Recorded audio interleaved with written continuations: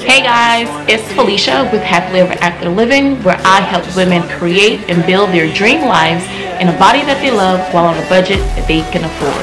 And in today's video, I am going to share with you guys my rich, rich life. Rich life. I'm so extra.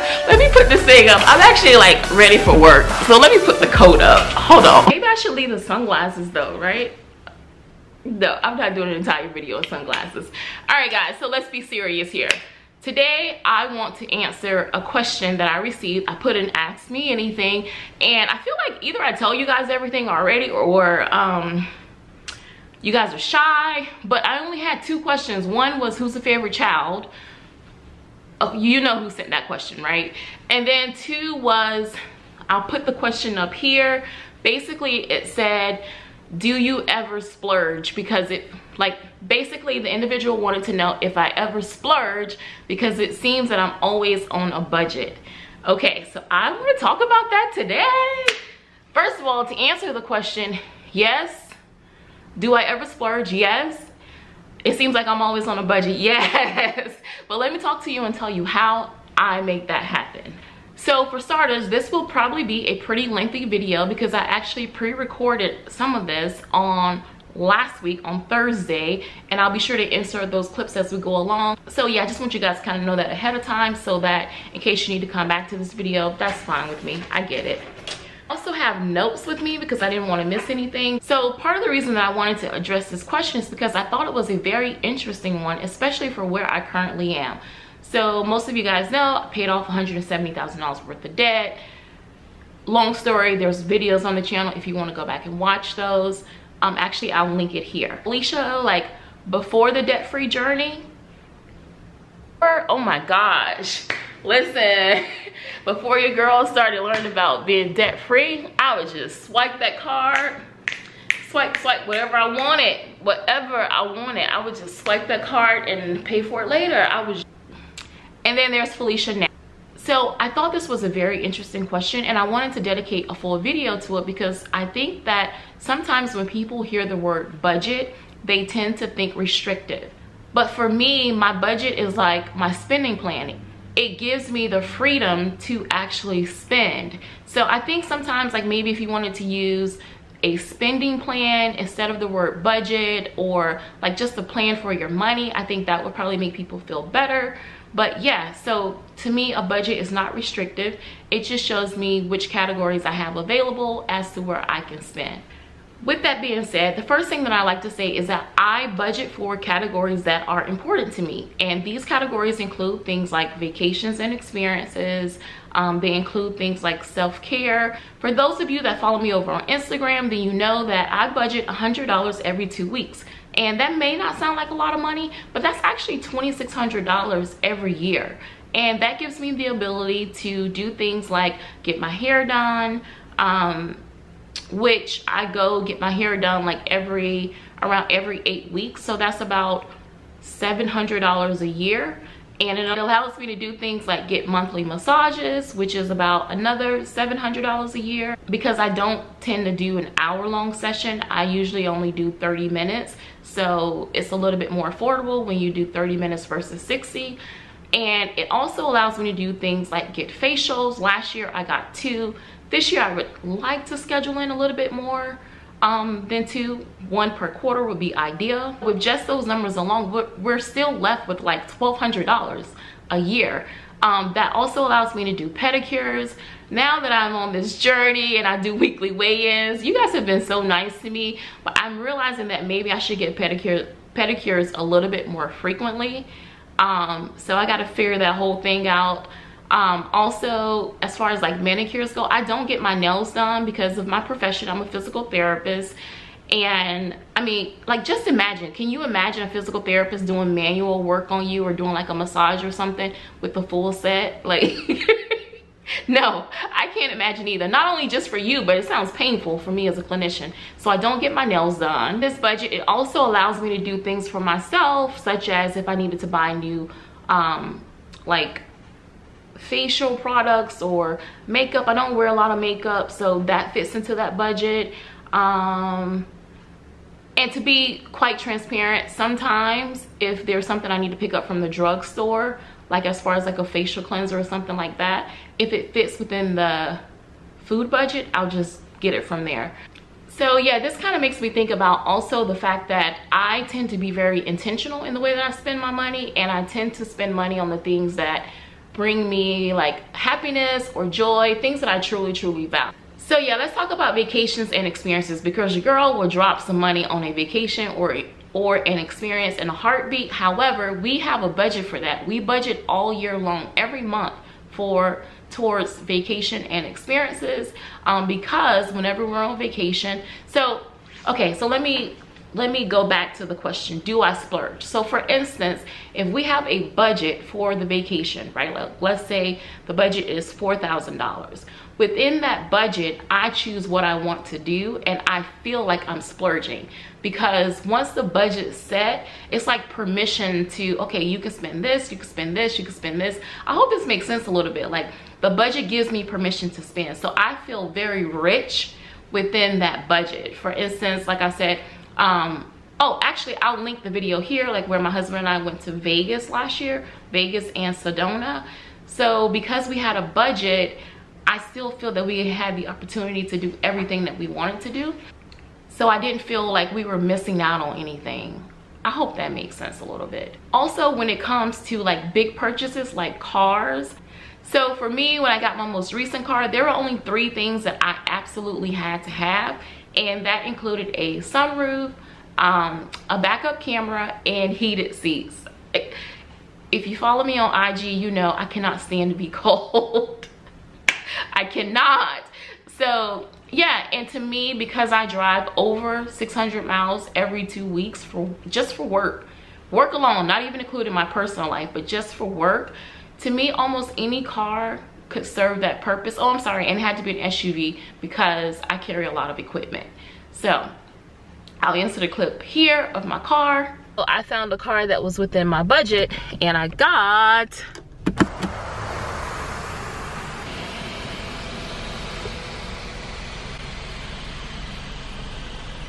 got my panoramic sunroof and I have my bougie $9 sunglasses and backup camera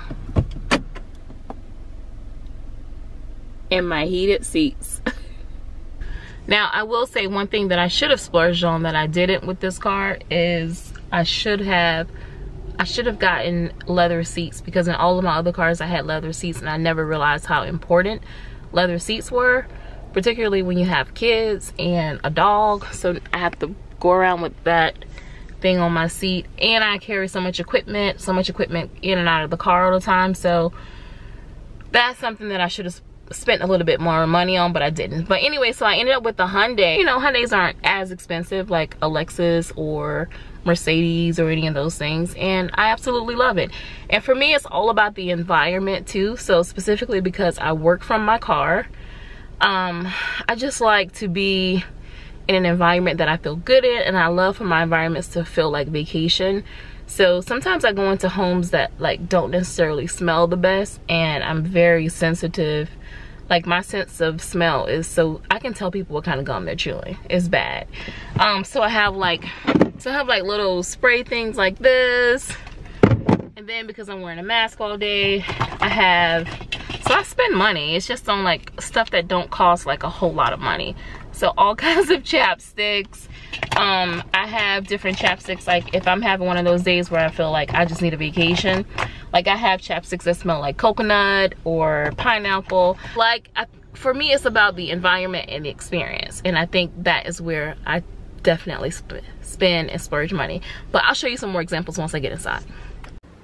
Yeah, so when it comes to cars, as far as splurging, I will splurge the extra money to make sure that I have the things that I want. Like for instance, next time when I go to buy a car, if it costs an extra I don't know, 1200 2000 3000 I don't even know how much they cost. But whatever it costs to get leather seats, I'm going to buy I'm going to splurge and get leather seats because now I know that that's also important to me. So now let's talk about things like houseware, home goods, furniture, things like that within the home because those tend to be an area where a lot of women splurge. For me personally, I like things to be very sleek, clean, minimum.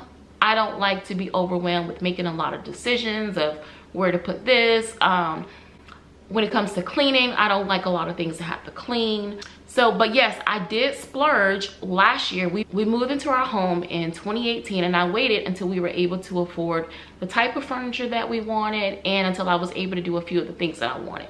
So one of the things that I did, if you guys have watched any of my old videos, you probably noticed that my walls are now painted white and also we have new furniture. So I'll insert a clip here where I talked about that a little bit but I budget for the things that I want. Like, um, for instance, even with our furniture, we waited about three years until we got furniture for this house. The furniture that we had was like 12 or 15 years old, but I wanted to wait until I got like exactly what I wanted because I knew it was something that I would keep for a long time and hopefully not have to replace.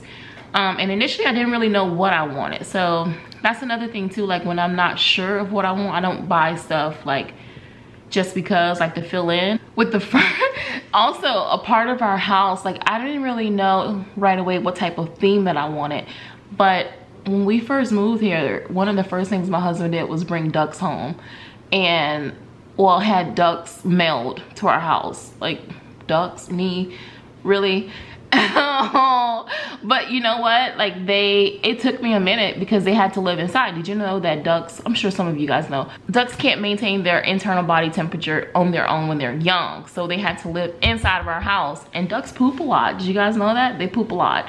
So i thought it was like gross and disgusting. And you know so we got ducks right? And i wasn't like extremely happy about that at first but i kind of started embracing it and I was just like, you know, Lord, like, just give me peace about these freaking dogs being at my house.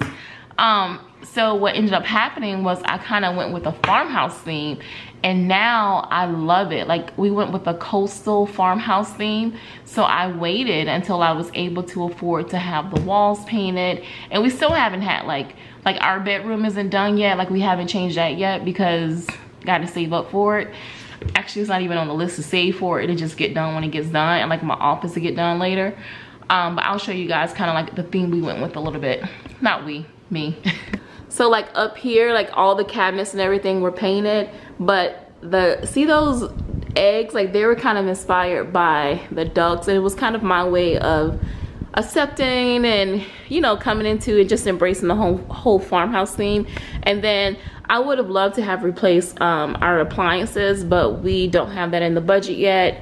So we still have the old appliances. This we actually had to replace from our emergency account because the refrigerator went out one time and it was filled with food. So you just have to, you have to replace that. Um, and yeah, so this is really old was from the original build of the house. And then I've got work stuff on the table. But if some of you guys see my previous videos, you remember that there was a green table here. And yeah, so it was here for the first three years that we lived here. And once we were able to replace it, I actually got what I wanted. So we did this and changed that area, changed the, um, actually put curtains up there. So that was a splurge. And then here in the living room, this was the first rug that I bought because we had different um, furniture. So I wanted to find furniture that still matched this rug because it was like a hundred and something dollars, maybe $200. And I didn't want to replace the rug. So that's kind of how we built the coastal farmhouse theme around it. So those are new. This is new. These tables are new. And those and those were total splurges. And this cabinet is new. That was a splurge. Um, I'm seeing splurge, but again, that was in the budget. This television is 12 years old, not replacing that until it completely dies. This is new. That Simply Blessed was a gift, and I wanted to like put it, make it like a focal point. So yeah, so as long as my home has like a peaceful environment, I'm actually good with that. Now, let's talk about on the day-to-day. -day. So on the day-to-day -day basis, your girl splurges on lip gloss, stationery, um, pens also to go with stationery, highlighters, um, and also I have a stationery addiction. So this is another place where I splurge and spend money. I, even though I haven't spent money in this area recently, like I have all the stickers and like I'm ever gonna use this many pens and highlight. Actually, I do. That's the embarrassing part is that I, I do use all of this stuff. Like I'll just roll it out whenever I'm doing my planning. And like all the things, stationery, planners, all of it. This cart is from Michaels. These bins are from Dollar Tree. Dollar Tree when they used to be a dollar. I'm also a really big tipper. Um, is that the proper term? Tipper? I don't know. But if we ever go out to eat, like we tip very well very which again is another reason that we don't go out to eat often because i feel that if you can't tip well don't show up like do not go to people's restaurants and leave some jaggedy tip like don't do that that's rude also i'm one of those people that enjoys doing random acts of giving i'm the person where I don't know, like sometimes I see like a lot of stuff like on Facebook. Like I'm the person that pays people light bills, um, buy school clothes, buy school supplies, um, donates to different charities, events. Like I'm the person that does that on Facebook without people like asking. But if I see that one of my friends are in need, I like to just, I like to do it. Like I like, I don't, this is probably gonna sound bad, but I don't like for people to ask me for things, I'd rather just do it because for me, it allows me to do it as it's available in my budget. Versus sometimes when people just come to me, then it may not be in the budget at the time, but yeah, anyways, I don't, that's okay. So that's where I spend a lot of money too, is giving to other people. Now, let's talk about services. I also splurge when it comes to therapy because I think that's important.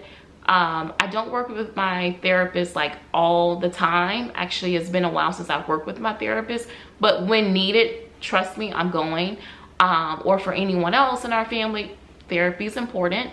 Um, when it comes to like coaching, um, I have a business coach on retainer. Housekeeping, I splurge in that area because I finally had to realize that my time was worth more. Like housekeeper can come and clean our house in two and a half hours. For me, it's an all day thing. Like it literally takes me all day to clean because I get so distracted. So that's been an investment that's been worth it and it's definitely an area where I splurge. Now, the bonus part. Do you guys want to know what some of my future splurges will be? Do you know what I'm really looking forward to spending money on? Okay, the first one is new scrubs for my birthday. I, let me put a clip in here. For my birthday, I wanna buy new scrubs because most of my scrubs are like, see that? They're getting to be too big. So for my birthday, which is in April, I wanna buy myself a complete set of new scrubs, which means I will be donating all of my older scrubs. My second splurge that I'm wanting to do, and I don't know if it will be this year or next year, but I want my first LV bag. Yeah, so the first one that I wanted was the Neverfull. I wanted that bag so badly. But now there's this, oh my gosh, what is the name of it? I'm actually gonna look it up because you never know what's in the universe and they could be watching this video and they might be like, hey girl, send us your P.O. box. We'll send you the LV bag. So it's actually a tote and I could just completely see myself using it for work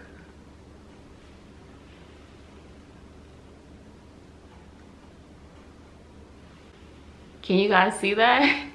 It is the Lockme Shopper. Like that is just such a cute bag. And when it comes to work bags, I'll actually share with you guys because I recorded that footage too of how I truly feel about work bags. As long as they're functional, I'm usually okay with that. But this bag will be functional and designer. So eventually I'll get there. And the third thing that I want to do is to, so you guys saw like the main areas of our house have been painted um, well the master bedroom and my office they still have not been painted yet because those have not been in the budget. And honestly they're not even in the budget right now for 2022 but i'm thinking that if we sell our rv i may be able to get my um get the master bedroom and the office like painted and designed the way that i want it and organized the way that i want it so and we also need to get a king size bed. My husband's been talking about it and i haven't put it on the list. So this video actually just made me think about i need to splurge on the king size bed for that man because i don't even know why he wants the king size bed because i'm still going to be right under him but he wants the king size bed. We're going to get it. Okay i had to write that down so i didn't forget. Um so yeah I hope you guys enjoyed this video. Yeah, I would love to hear what are some things that you splurge on? Where do you spend your money? Are you intentional with your money how I am now? Or are you how I was before when I would just swipe that credit card, didn't think twice about it? Um, yeah, I would love to hear. So if you like videos like this, hey, you guys, I need you to engage with me a little bit more. I'm trying to grow the channel and apparently there's a lot of things that YouTube looks at. YouTube likes it when you have likes on your videos and they also like it when you have comments. So if you can like, share, and subscribe, that will help me out so much. And even if you like take the video and like text it to your friend, that helps out too. I don't, I don't understand it all. I'm new to this world, but I'm trying to grow. So thank you and I'll see you in the next video. Bye.